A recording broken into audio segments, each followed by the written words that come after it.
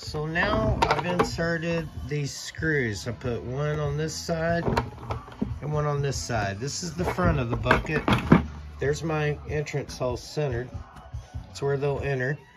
This will be hanging off the tree because this comes like this. When I put this lid on, I'm gonna put it straight, kind of line it up with the entry hole and I can see how it hangs and that way it'll look, it'll be way more natural for them when they get in.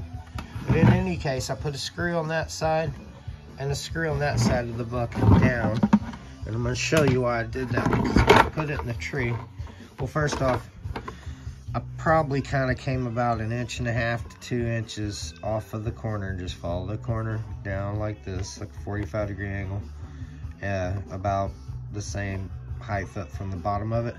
And put it there toward the front, not, not totally centered in the middle, but a little toward the front.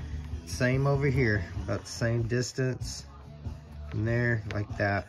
Because that way, this hangs up in a tree and it's all set then I'll have a bungee cord around the tree that straps onto there and there. And that way it won't sway. It'll steady the bucket too. Okay, so that's the reason for that.